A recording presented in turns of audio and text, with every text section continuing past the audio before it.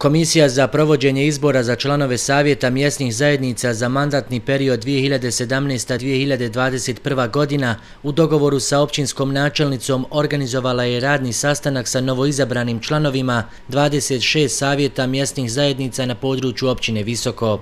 Na prvom zvaničnom sastanku u Velikoj sali općine predstavnicima Savjeta mjesnih zajednica na početku se obratila načelnica Amra Babić, koja je prije svega svim čestitala osvojene mandate uz želju za uspješan rad i dobru saradnju sa izvršnom i zakonodavnom vlasti, ali i sa administracijom općine Visoko.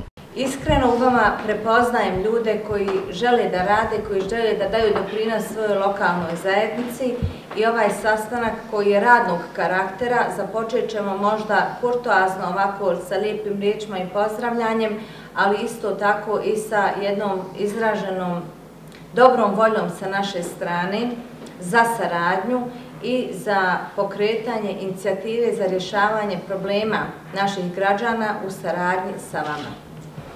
Kakva je uloga mjesne zajednice u samoj strukturi vlasti? Vi znate da je mjesna zajednica prvi nivo vlasti i prvi nivo lokalne samuprave po zakonima u Bosni i Hercegovini, da su e, savjeti mjesnih zajednica pravni subjekti i da shodno tom pravnom subjektivitetu nose i pojedinačnu i kolektivnu odgovornost u smislu znači poštivanja svih zakona i propisa države Bosne i Hercegovine. Ono što mm, smo mi kroz rad sa predstavnicima mjesnih zajednica naučili jeste da uglavnom rad mjesnih zajednica i savjeta se svede na predsjednika i još jednog ili dva člana koji, zahvaljujući vlastitom motivu i aktivizmu, e, iznose kroz svoje inicijative realizaciju velikih projekata. Tako je bilo do sad, tako će vjerovatno biti i od sad, samo imamo želju da takvih predsjednika i takvih mjesnih zajednica bude više nego što je bilo do sad. Mi vodimo politiku uravnoteženog razvoja općine Visoko.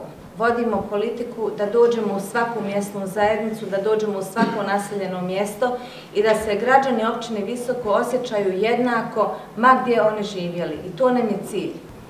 Ono što se kao praksa pokazalo u prethodnim godinama jeste da su ponekad savjeti mjesnih zajednica i građani bili usamljeni u svojim stremljenjima da naprave bolji ambijent i bolji život i da su tu pravili određene greške i takve greške e, imaju veoma daleko sežne posljedice, pa čak i na stotine hiljada konvertibilnih maraka, obaveza i dugovanja. Ja vas molim da vi budete malo oprezniji, a sa naše strane obećavam da ćemo biti bolji saradnici nego što smo bili do sad i nego što su to bile prethodne generacije prije nas. Znači, vjerujem da ste vi ozbiljni ljudi koji su mi pristupili ozbiljno i e, želim da vas zamolim da sve ono što se zove politikanstvo ostavite iza vrata, a kad se bavite ovim poslovima da budete u službi građana. Bez obzira za koga su ti građani glasali, bez obzira kome su oni dali povjerenje, bez obzira kako su oni obojeni i tako dalje i tako dalje.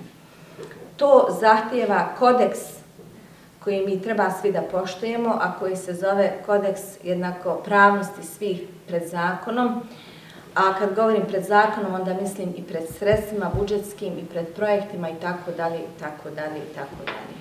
Sve ono što nas je niz godina vodilo u pogrešnom pravcu bilo je upravo rezultat jednog takvog rada donošenja odluka po političkoj podobnosti, pripadnosti i asfaltiraj dokuće predsjednika mjesne zajednice. Dalje, ako dođe, molim vas da taj princip rada ostavimo iza sebe i da se pođemo ponašati. Svi vi imate neko političko opredjeljenje, ja to poštujem, treba da imate.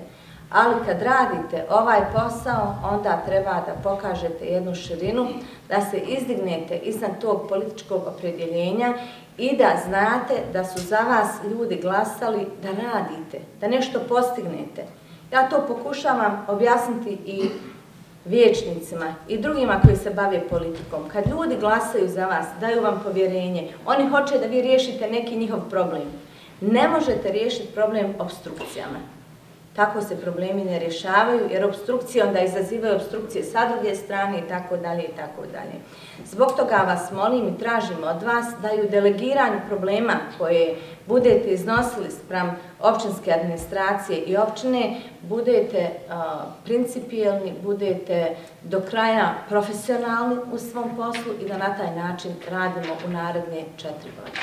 Cilj ovog sastanka da se međusobno upoznamo te da razgovaramo o ulozi i značaju mjesne zajednice, također u radu savjeta mjesnih zajednica i saradnji savjeta mjesnih zajednica sa općinskim vijećem i općinskim službama. Na današnjem sastanku su bili prisutni i predstavnice općinske službe koji se također predstavili novoizabranim članovima savjeta mjesnih zajednica i predstavili nadležnosti svoje službe. Ono što mogu reći je da je zajednički zaključak sa ovog sastanka da se nastavi korektna i dobra saradnja između savjeta mjesne zajednice i općinske administracije kako bi u narednom periodu mogli imati dobru mjesnu samoupravu u općini Visoko.